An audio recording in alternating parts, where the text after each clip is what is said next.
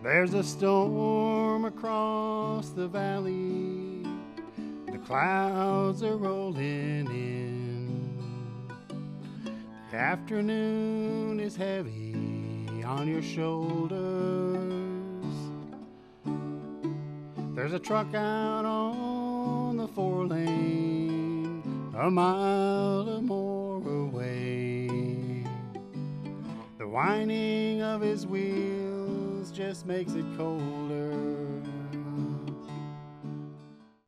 Community Forum is sponsored by the Easton Grange 196 and a friend of Yardley Wood Rink and the Easton Lions Club. Welcome to Community Forum. Today is October 21st, 2024. I'm Priscilla Almquist Olsen, your host, and today it gives me a great deal of pleasure to welcome Easton's land use and environmental planner, Jennifer Carlino. Welcome to the show. Thank you. And Jennifer has a very important job uh, in Easton uh, that relates and affects impacts on all of you viewers out there, all of you residents of Easton and friends of Easton. So, Jennifer, tell me a little bit about your job and um, how you got started on this journey. Sure. Um, the land use and environmental planner is basically the conservation agent for the town. And so I assist the Conservation Commission in their um, major role of administering and enforcing the Massachusetts Wetland Protection Act and the town's local bylaw. I also help administer or uh, uh, Well, tell me, yeah, the open, the op- open space, manage open space, Yeah. uh, the town's conservation property. Um, I um, certify vernal pools and look for endangered species. okay, and also, um, I bet you, you have a lot, you know about invasive species, right? Correct. Yeah, and that's a, a real interest to many of us here um, in Easton. So the Conservation Commission is where your work is primarily um, done. Uh, so um, the Conservation Commission deals with everything from invasive species to ver- uh, vernal pools uh, to open space, land use. Uh, and who are the people that come before the board, the commission? Anyone looking to do work within 100 feet of a wetland or 200 feet of a river are required to get a permit from the Conservation Commission um, to review their project and make sure that everything complies with the state and local wetland laws. Um, How so many people uh, don't realize that they have to do this? I imagine there are uh, quite a few enforcement uh, issues too They come before the board where people start doing things not knowing they have to uh, come before the board and get permission. Is that true? Uh, well, the law has been in place for more than 60 years, so um, you know it is people's responsibility to make sure they're complying with state law. But yes, there are a number of, um, you know, there are, there are accidental violations for the most part. Usually, people dumping compost or grass clippings or leaves in the wetlands themselves. That's a problem. Do you find people um, uh, filling in wetlands? Is that a major issue? Well, putting leaves and your grass clippings is technically filling in a wetland. It's taking up all the space that would be used for flood storage. Uh, it doesn't allow native plants to grow up, and it impacts our wildlife habitat. Yeah, so tell me, why are uh, vernal pools, for example, why are they so important?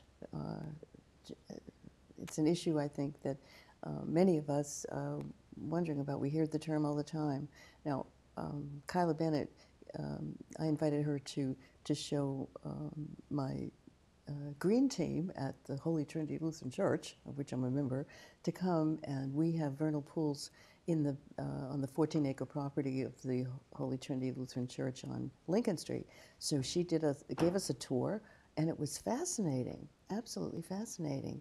Um, but go, tell our viewers a little bit about vernal pools and why they're so important. Sure. Vernal pools are some depressions in the landscape. Sometimes they're in the middle of a forest, and sometimes they're in the middle of a wetland or a floodplain or near the river.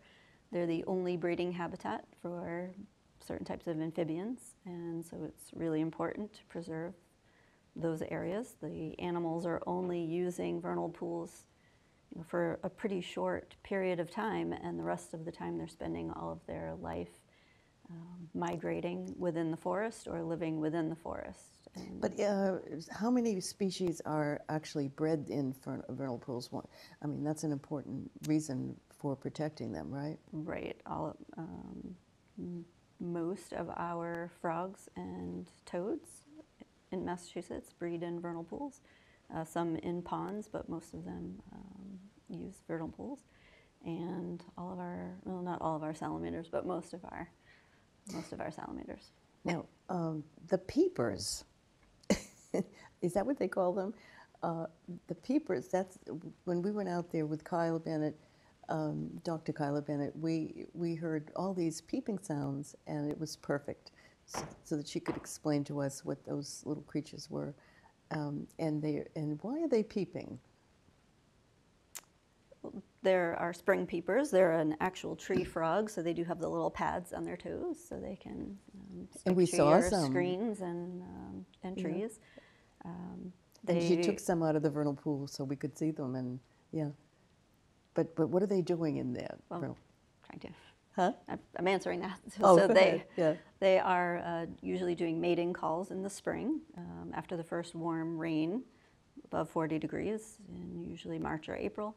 That's Mm-hmm. when they're making the breeding calls, and after that, sometimes after the rain, those are called rain calls. Uh-huh, right. So those are the breeding calls. And um, it's interesting because I think many people hear those peeping sounds uh, because vernal pools are, uh, people don't usually know that they're there, on, in, say, in the back of their property. Uh, and then they hear these peeping sounds uh, during the, um, the, the breeding, the mating season. Um, and um, so, in terms of invasive species in Easton, what, what, what in your opinion, is the, the most, the, the biggest uh, um, problem, the biggest species that we have that creates, um, that's most invasive? Well, in Easton, you have a number of invasive species. There's Japanese knotweed, Japanese barberry, Oriental bittersweet, buckthorn. Um, we also have aquatic invasive species in some of our ponds and rivers, mostly ponds, um, but those are milfoil and fanwort. Um, they Well- take over and outcompete our native vegetation, and they're less nutritious for our wildlife. Where can people get information about how to eradicate these invasive species um, and what they look like? um, you know, an internet search would certainly do that. Um, the Mass Invasive Plant uh, Working Group has uh, quite a bit of information. Um, people should also know that if they're within the buffer zone or a wetland resource area, even to remove invasive species, you do need to obtain a wetland permit to do that work. I see. Okay. so that's interesting. Uh, I have that Japanese uh, knotweed called Japanese bamboo, I think, also. It looks like bamboo. And it's, it's terrible. Um, and it comes from the um, Easton, uh, an easement uh, from the town of Easton uh, at the end of my street. And it's gone on my property. And it just keeps moving. And it's taking up my lawn. Uh, it's going into the NRT property. Um, I'm on the end of Seaver. It's just awful. And I read that it's very difficult to eradicate it. Um, and I've asked the, the uh, town, the DPW, to uh, take care, get rid of their knotweed so it doesn't continue on, and they can get rid of my, the, what it, the propagation of it too, but it hasn't happened. Is the Con- uh, Conservation Commission have any power over that? Over another department? No. No, but I mean, uh, they, they, they have no means of eradicating it. Um, if it's on conservation property, um, that is something the, the commission would look at, but it does take time and resources and funding in order to do that. Right. Um, I've just received uh, funding from the EPA Oh, to take care of some of the invasive species that are next to Old Pond Oh. Old Pond Dam. So the all the burning bush um, Oh, yeah. should not be there. That's an exotic invasive plant as well. uh-huh. Um, so we'll be working with a contractor and Old Colony Planning Council and So, the um, EPA to eradicate and replant the, the Yeah. area between Old Pond and the Bay Circuit Trail. I see. And then, so that would be conservation property? It is conservation Yeah. property. Okay, so the NRT has the, I don't think they know it.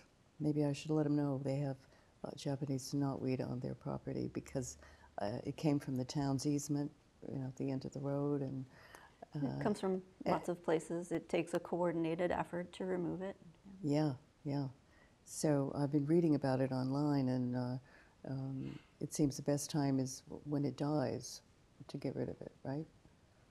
It depends on which method you're choosing Oh, yeah. for treatment and um, for the right time of year and the stage within the plant's life cycle. But I also read that it takes three years or more. It could take many years. Yeah. Yeah, it's a terrible thing. Very invasive, terrible. Okay, so um, uh, the Conservation Commission uh, has you there by its side at every meeting, right? Correct.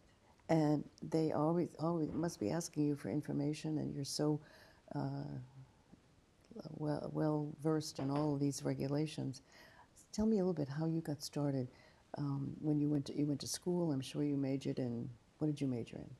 I went to Bridgewater State and I majored in environmental geography and I had an art minor.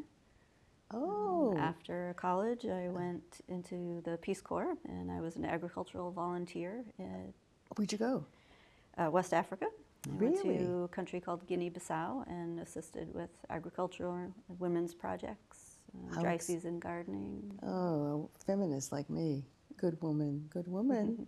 uh, uh, yeah, I almost went to the Peace Corps, um, but I, I became an activist in the 60s.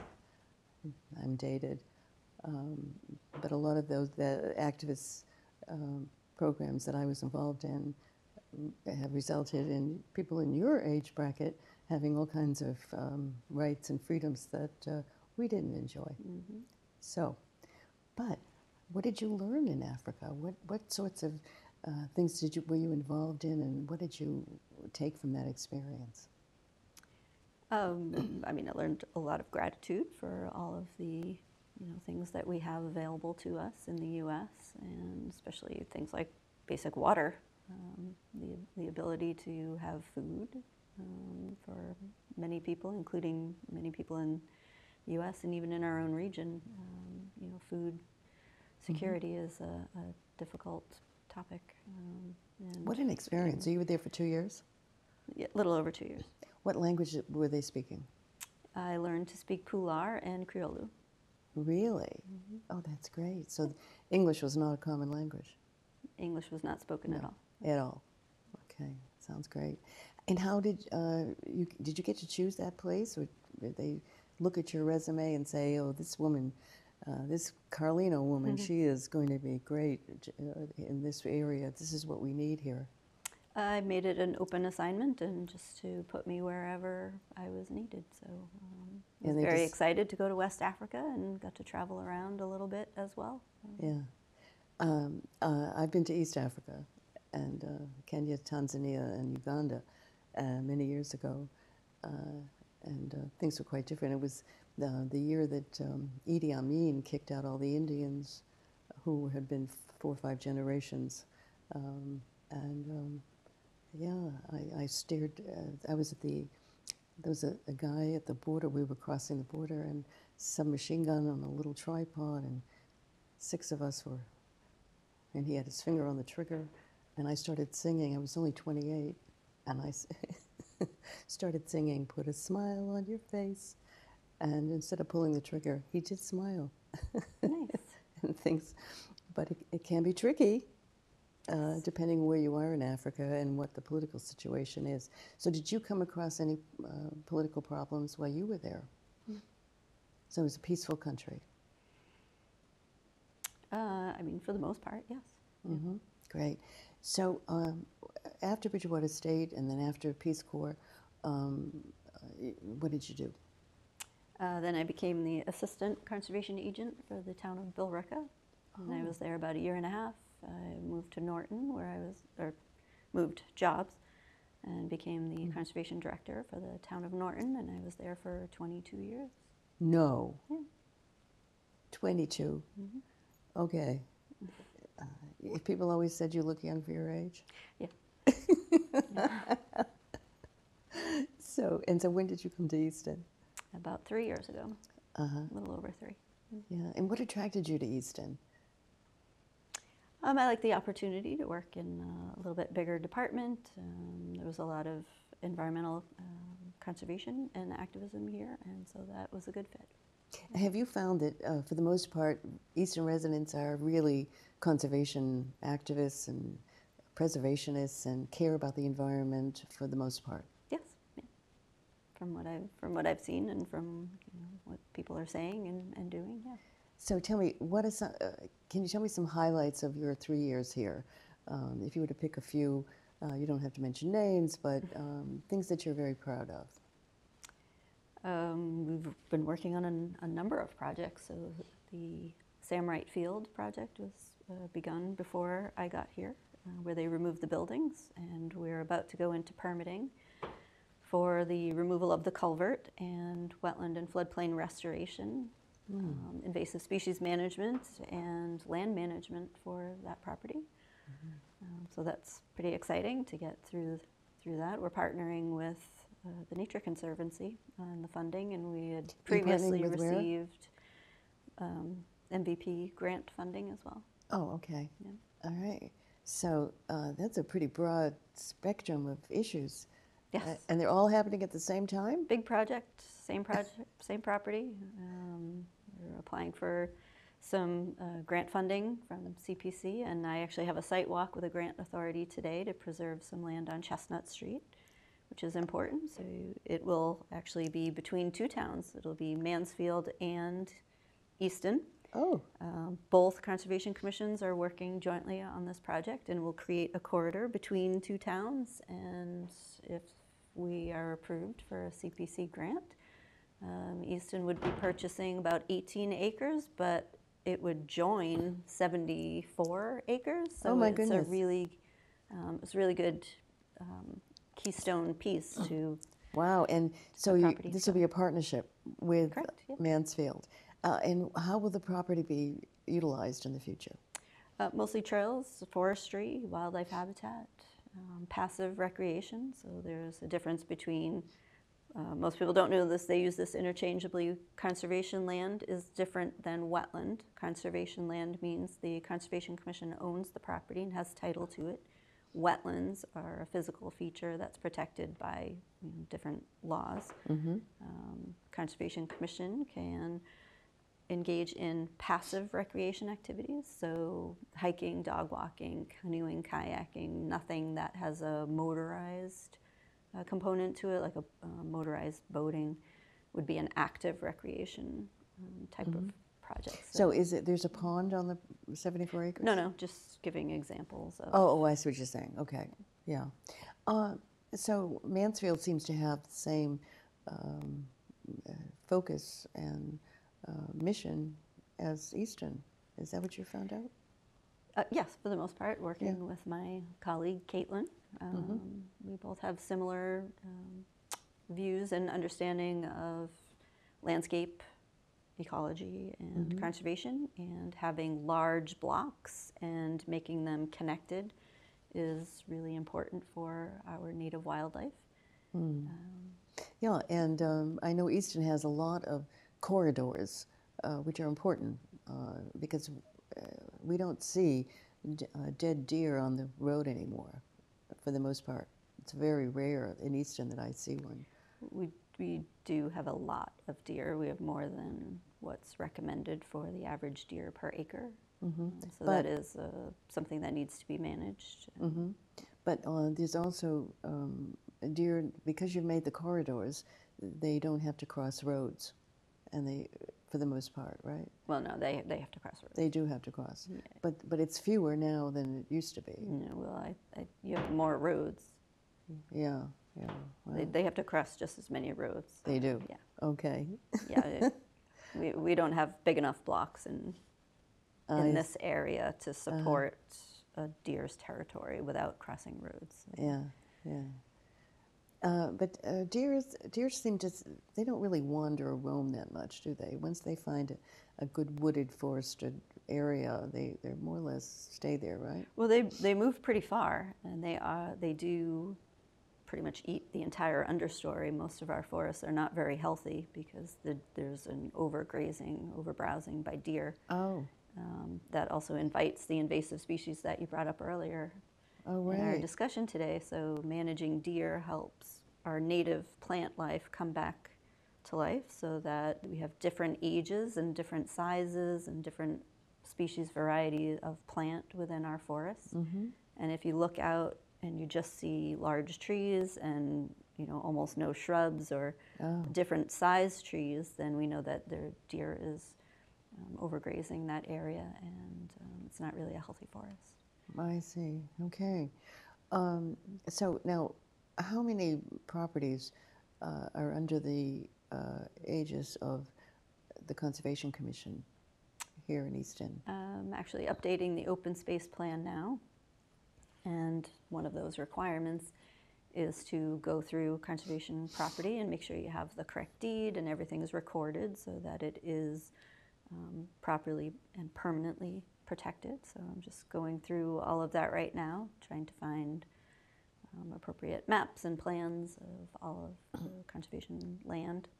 Uh, there's a number of parcels and the overall acreage of all protected land, including borderland and NRT land, is somewhere around 2,500, 2,000, uh, 3,000, I think. How many? Um, not finished with the numbers yet, but it looks like maybe 2,500 for Acres. acres for the whole town for all open space. Yeah. Now, uh, I was told that 38% of the town's landmass is in conservation. Would you say that's accurate? Uh, not having finished the, Oh. the ma- not having finished the matrix and, and finished the numbers, um, Okay. I, I don't know for sure, but I've um, told that to stay a lot of people because I'm really proud of that.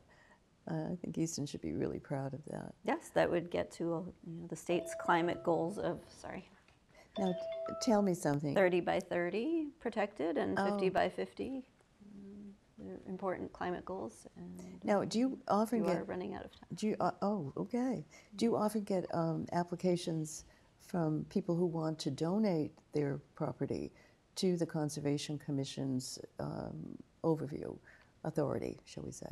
We do. Um, it's a great way to preserve your family's property, um, maintain some wildlife habitat, including uh, different types of communities. So, if you have a field or a forest or um, successional habitat, is all really important. There is a tax incentive um, for people who donate property. Uh, the big thing is the all the taxes do need to be paid in order for the town to accept property, but we're happy to take a look at it and evaluate land and see if it, you know, pieces the puzzles, you know, pieces all the um, puts all the pieces together for large um, blocks that are great for habitat. Yeah. Okay. Uh, so one of those properties uh, that uh, the commission, ha- uh, Conservation Commission, has been um, looking after for many years is the Tufts Farm, and that um, is a p- property that the Conservation Commission leases. So, um, and it's changed uh, its uh, use over the years. Um, and currently, uh, you want to talk about that now? What it currently is still leased?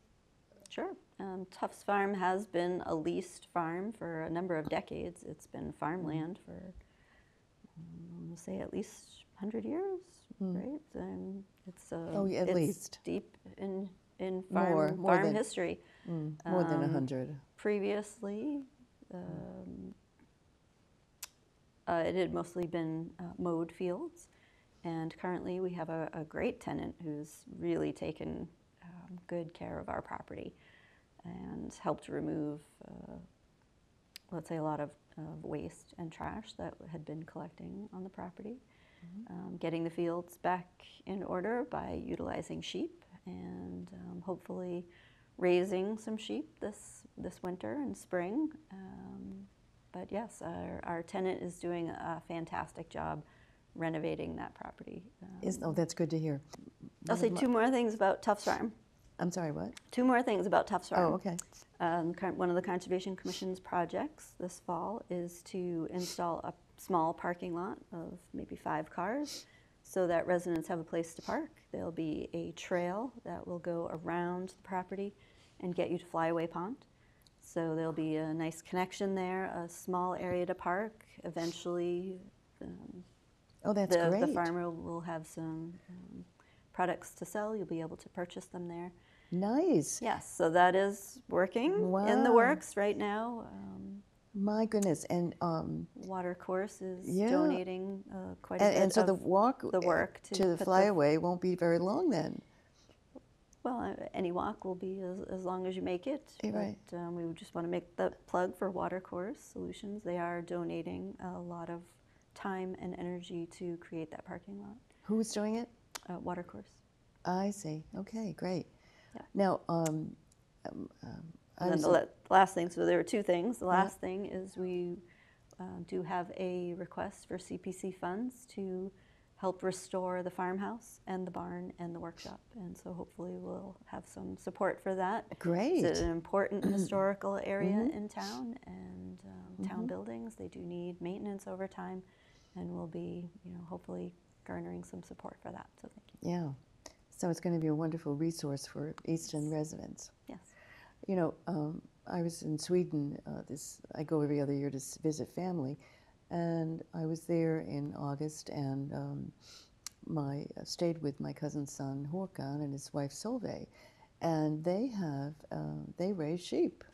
Um, he, he's also a interestingly enough, uh, he in, has a business he's had for many years installing solar panels and all over the island uh, they live on and you know, on the mainland also. So I, I said, what a great idea. You've got the sheep, you have all the solar connections. And he said, and they wrote back and said, that's not a new idea. That's, that's been, we're not in the business of doing that, uh, but we know it's, it's happening all over Sweden. I says, oh, what do you know? So it's not, it's not really a, an American idea, but it is very unique and uh, new for us here in Easton. Uh, and I know Chronicle did a part, um, a a whole series on um, Mr. Finnegan's farm and, and what he's doing uh, for the uh, solar parks. Uh, so, are there other other? How do people uh, um, do, do people make suggestions about properties that they know are uh, just lying vacant and open space, um, and, and suggest that you look into it and ask the owners if they're interested in donating the property? Yes, uh, we are, like I said, we're re- updating the open space and recreation plan. We do have the survey that was just released on Friday. Uh huh. And so if you go to the Conservation Commission's webpage and uh, take the survey, you can list properties you think should be preserved or types of land that you would like to see preserved or recreation programs that you would like um, to be available uh, to Easton residents. So it's a, an important document. Yeah. It enables the town to receive grant funding, and we can't receive grant funding without it. So Mm-hmm. we will be doing some uh, public workshops as Well- well. But the, the survey has started, so please fill it out. So everybody out there, all the viewers, Yeah. uh, listen up and, and when you're driving around or walking around, uh, take a look at properties and uh, give the Conservation Commission a ring if you think there's something, uh, some properties that would be wonderful to add to the conservation land in Easton. Thank you, Jennifer Carlino, land use and environmental planner, for this very interesting and uh, thorough, detailed, comprehensive uh, information about what you're doing and what the town conservation commission is providing for easton residents okay, thank you for inviting me. thank you again and to viewers out there until next time this is priscilla almquist olsen bidding you farewell